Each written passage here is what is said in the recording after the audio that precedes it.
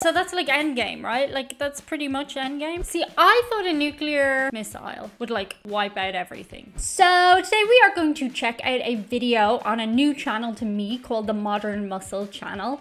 And it is called How Would the United States Fight a Nuclear War? Isn't that a cheery subject for you today? Let's hope it never comes to that, but it might. I'm a lover, not a fighter. If you want to see more of me and my less fighty life, go check out patreon.com slash Diane Jennings for more behind the scenes stuff and early release music reactions.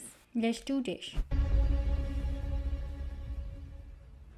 It's been over 80 years since a major conflict has broken out in Europe. The result has left many with a deep sense of uncertainty. Nearly 70% of Americans surveyed by the American Psychological Association feared that we are at the beginning stages of World War III.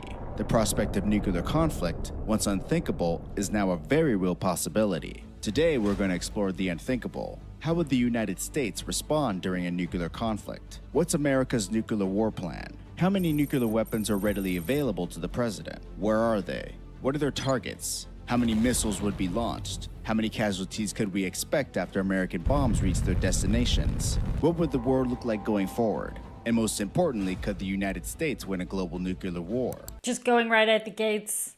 That looks like there's a lot more nuclear bombs than I thought there were. I thought there was like maybe five. I might be wrong. I thought like it was quite rare. I had hoped.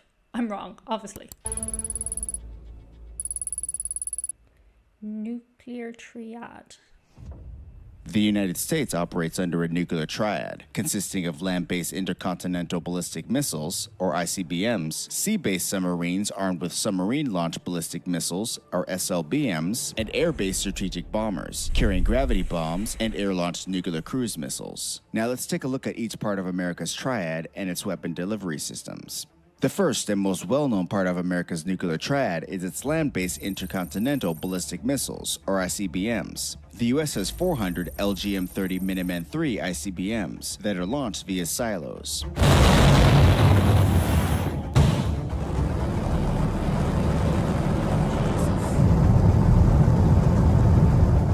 These 400 missiles have a range of over 6,000 miles and have near pinpoint accuracy. When launched, the three-stage Minuteman III travels at speeds of over 15,000 miles per hour, reaching its target in under 30 minutes. Each Minuteman III missile carries one warhead. 200 Minuteman III missiles are armed with a 335 kiloton W-87 Mark 21A warhead, while the other half are armed with a 300 kiloton W-78 Mark 12 warhead. Each warhead has around 40 times the destructive power of the bombs dropped on Japan in 19 1945. Oh, damn. Oh, damn. America's Minuteman III silos are based in three rural areas the 90th Missile Wing at F.E. Warren Air Base in Colorado, Nebraska, and Wyoming, the 91st Missile Wing at Minot Air Force Base in North Dakota, and the 341st Missile Wing at Malmstrom Air Force Base in Montana. Each wing has three squadrons, and each squadron has 50 Minuteman III silos. They're collectively controlled by five hardened underground control launch centers, each operated with two military officers around the clock at all times. In the event that launch command centers are destroyed in a surprise attack, or the military officers inhabiting the launch command control centers get cold feet, these missiles can and will be remotely launched from an airborne command center, carrying out orders from the president. As with all things, there are advantages and disadvantages of the silo based Minuteman III. Its primary advantage is that these 400 missiles make the most responsive leg of the nuclear triad. America's land based ICBM force has remained on continuous around the clock 24 7 alert since 1959. They can be quickly launched in less than 5 minutes, America's silo-based ICBMs offer a strategic advantage as well. Due to their remote launch capability, an effective nuclear attack against America's Minuteman III silos will require at least 400 warheads, or one bomb aimed at each silo, forcing the enemy to use and deplete a considerable amount of their nuclear arsenal. But this strategic advantage also highlights the Minuteman III's disadvantages. America's land-based Minuteman IIIs are inherently vulnerable, as their location is commonly known, and therefore silos can and will be easily targeted. As a result, in the event of a large scale attack, the president would be put in Jesus. a sticky situation. He or she would have to either use Are these 400 missiles or lose them, forcing a large scale retaliatory attack in response to perceived incoming warheads targeting American silos. With enemy missiles already in flight, the leader of the free world would only have 15 minutes to decide. And once a missile is launched, there's no turning back. Yeah, the second arm of America's nuclear triad is its air based strategic bombers. The U.S. Air Force currently operates a fleet of 66 strategic bombers. America's strategic bombers are organized into nine bomb squadrons and five bomb wings at three bases. See, I thought a nuclear missile would like wipe out everything.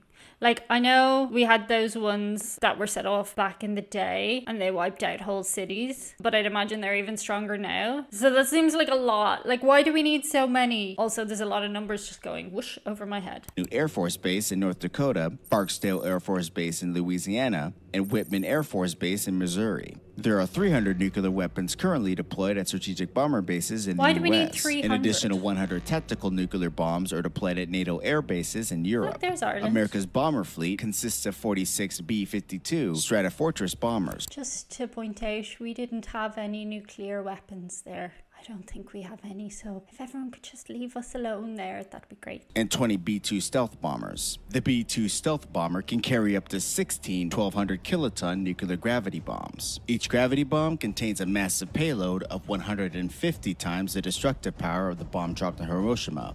The B-52 Stratofortress bomber is a 150 times Hiroshima. So that's like endgame, right? Like that's pretty much endgame. Why do you need so many?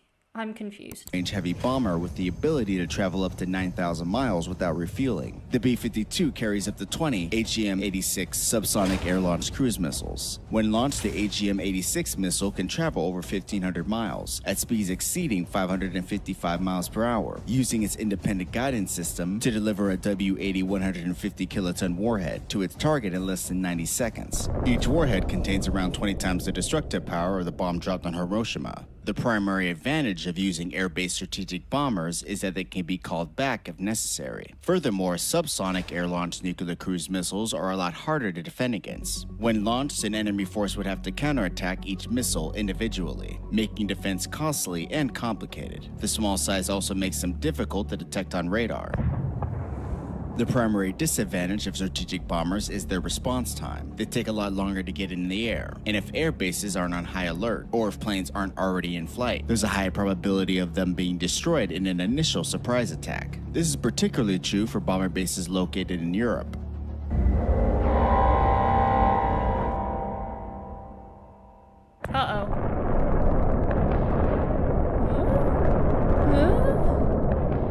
Okay, Dublin's sitting pretty down there now at the moment. How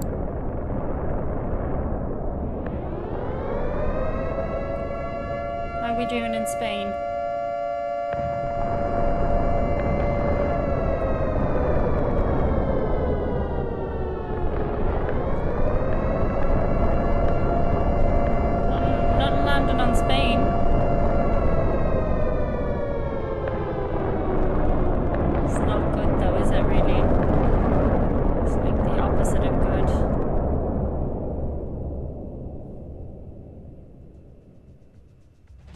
The last and most important part of America's nuclear triad Mark. are its nuclear powered ballistic missile submarines. The U.S. Navy operates a fleet of 14 Ohio class ballistic missile submarines. Each submarine Oh, carries 20. Trident II submarine launched ballistic missiles. The Trident II SLBM is the most destructive weapon in America's nuclear arsenal. Each missile is armed with either four or five 475 kiloton W 88 warheads. In theory, each sub can launch its entire 20 missile payload virtually undetected in under seven minutes.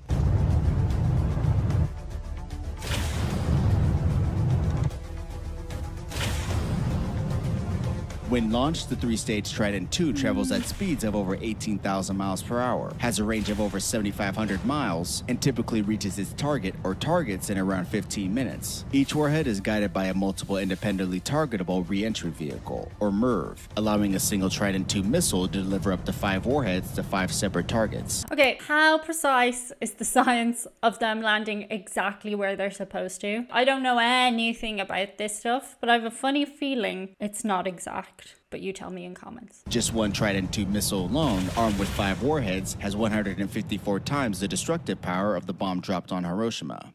Overall, the US has around 70% of all of its warheads on submarines, and with good reason.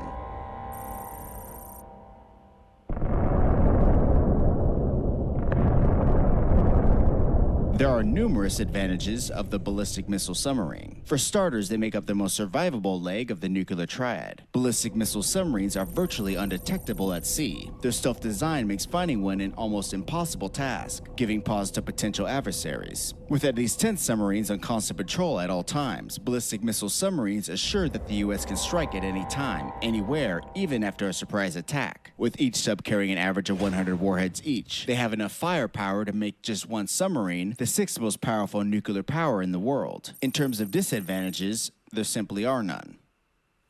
None, none, zero. Death. that's a that's a disadvantage. Part two. Major attack option one. When people imagine a nuclear war, the first thing that comes to mind is large cities like Los Angeles and Moscow being incinerated in a blaze of nuclear hellfire. While this would definitely be a likely outcome, the reality is that around 70% of the 1,800 nuclear warheads currently deployed by the United States aren't aimed at large cities, but instead at enemy countries' nuclear forces. To better understand this, we first need to take a look at America's current Strategic Nuclear War Plan, also known as the Single Integrated Operational Plan, or SIOP. First drawn up in 1950, the SIOP focused primarily on the Soviet Union. While today most of the weapons in the war plan still target Russia, other countries such as China, North Korea, India, and Pakistan are included as well. In this video, we'll take a look at a nuclear exchange with the only nuclear power comparable to the United States, the Russian Federation. This portion of America's nuclear war plan is called Major Attack Option 1. Major Attack Option 1 is the most demanding attack option available to the President. Should the Commander in Chief order Major Attack Option 1, the resulting attack would consist of over 1,000 warheads, targeting Russian nuclear forces, including ICBM silos, road mobile ICBMs, submarine bases, primary airfields, nuclear storage facilities, design and production complexes, critical command and control facilities, and civilian population centers. Now let's take a look at a Major Attack Option 1, its Russian targets, the American nuclear weapons used, and the overall outcome of an American thermonuclear attack on Russia. So, to sum up, not good. Let's not do that. Shout out today to a couple of very special people. Our first shout out today comes from Ricky Carey. He wants to shout out all the lifeguards working this summer to keep everyone safe at the swimming pools and beaches during the summer. It's a really hard job to do in the hot weather. Thank you so much. Up next, we have Brian Ediger, who wants to shout out all those who transport others, such as pilots, bus drivers, taxi and rideshare drivers. He says, Thank you for being willing to sit or drive or fly for hours on end and take people where they want and need to go. Thank you to each and every one of them, and thank you to you, Brian. Thank you so much, guys. Go hug your dog because that was terrifying. No. No. You need a bath, stinky poo.